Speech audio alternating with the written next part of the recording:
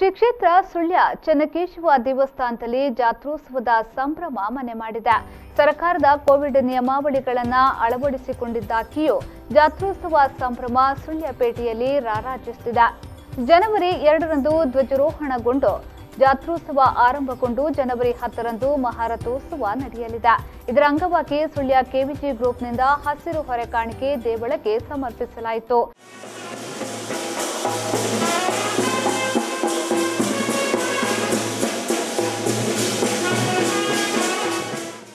ಈ ಸಂದರ್ಭದಲ್ಲಿ ದೇವಳದ ಆಡಳಿತ ಮುಕ್ತೇಶ್ವರ ಡಾಕ್ಟರ್ ಹರಪ್ರಸಾದ್ ಅವರು ಮಾತನಾಡಿ, ಮಹಾರಥೋತ್ಸವದ ದಿನ ಬೆಳಗ್ಗೆ ದರ್ಶನ ಬಲಿ ನಡೆಯಲಿದೆ. ಪ್ರತಿ ವರ್ಷವೂ ಜನ ಜಂಗುಳಿಯಿಂದ ವಿಜೃಂಭಣೆಯಿಂದ ನಡೆಯುತ್ತಿದ್ದ ಜಾತ್ರೋತ್ಸವ ಈ ಬಾರಿ ಕೋವಿಡ್ ಹಾವಳಿಯಿಂದಾಗಿ ಕೆಲವೊಂದು ನಿಯಮಾವಳಿಗಳ ಅಡಿಯಲ್ಲಿ ಉತ್ಸವದಲ್ಲಿ ಬದಲಾವಣೆ ಮಾಡಲಾಗಿದೆ. ಯಾವುದೇ ಸಂತೆ, ಸರ್ಕಸ್ಗಳಿಗೆ ಅವಕಾಶವಿರುವುದಿಲ್ಲ. ದೇವರಿಗೆ ನಡೆಯುವ ಸಾಂಪ್ರದಾಯಿಕ ಉತ್ಸವಗಳನ್ನು ನಿಯಮಾನುಸಾರ ನಡೆಸಲಾಗುತ್ತಿದೆ ಪ್ರತಿ ವರ್ಷದಷ್ಟು ಹೊರೆಕಾಣಿಕೆ ಬಾರದಿದ್ರೂ ಇಲ್ಲಿಗೆ ಬೇಕಾಗುವಷ್ಟು ಹೊರೆಕಾಣಿಕೆ ಬಂದಿರುತ್ತದೆ. ಅನ್ನದಾನವೂ ನಡೆಯುತ್ತದೆ. ಕೋವಿಡ್ ನಿಯಮಾವಳಿಗಳನ್ನು ಅಳವಡಿಸಿಕೊಂಡು ಪ್ರತಿಯೊಬ್ಬರು ಜಾತ್ರೆಗೆ ಬನ್ನಿ ಎಂದು ತಿಳಿಸಿದರು. ನಾಳೆ ಸುಮಾರು ಬೆಳಿಗ್ಗೆಯಿಂದಲೇ ಇಲ್ಲಿ ಉತ್ಸವ ನಡೀತದೆ. ಬೆಳಿಗ್ಗೆ ದರ್ಶನ ಬಲಿ ಉತ್ಸವ ಆಗಲಿಕ್ಕಿದೆ. ಆಮೇಲೆ ರಾತ್ರಿ ಮಹಾರಥೋತ್ಸವ ನಡೀಲಿಕ್ಕಿದೆ.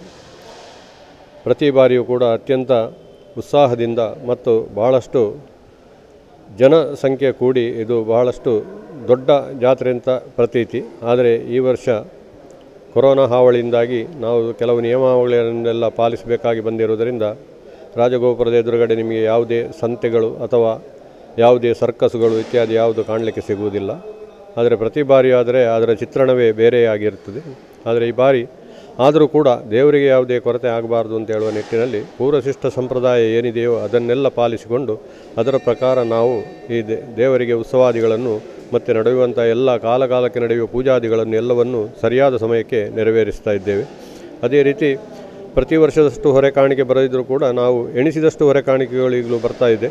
ನಾವು ಅನ್ನ ಸಂತರ್ಪಣೆಯನ್ನು ಮಾಡಬಾರ್ದು ಅಥವಾ ಅನ್ನ ದಾನವನ್ನು ಮಾಡಬಾರ್ದು ಅಂತ ಹೇಳುವ ಆಕ್ ಇದು ಒಂದು, ಇದು ನಮಗೆ ಸರ್ಕಾರದಿಂದ ಇದ್ದರೂ ಕೂಡ ನಾವು ಇಲ್ಲಿ ಬಂದವರನ್ನು ಹಾಗೆ ಕಳಿಸುವುದಿಲ್ಲ. ಒಂದು ಅನ್ನ ಸಂತರ್ಪಣೆ ಅನ್ನದಾನವನ್ನು ಒಂದು ಮಾಡಿ ಅವರಿಗೆ ಎಲ್ಲ ವಿಧದ ಸೌಕರ್ಯಗಳನ್ನು ಒದಗಿಸಿಕೊಟ್ಟು ಒಂದು ರೀತಿಯಲ್ಲಿ ಈ ಜಾತ್ರೋತ್ಸವ ನಮ್ಮ ಒಳಗಿನ, ಒಳಗಿಂದೊಳಗೆ ಯಶಸ್ವಿಯಾಗಲಿ ಅಂತ ಒಂದು ನಾವು ಹಾರೈಸ್ತಾ ಇದ್ದೇವೆ. ಅದೇ ರೀತಿ ನಡೀತದೆ ಕೂಡ ಅಂತ ಹೇಳುವ ಆಶಯದೊಂದಿಗೆ ಎಲ್ಲರೂ ಕೂಡ ಬನ್ನಿ.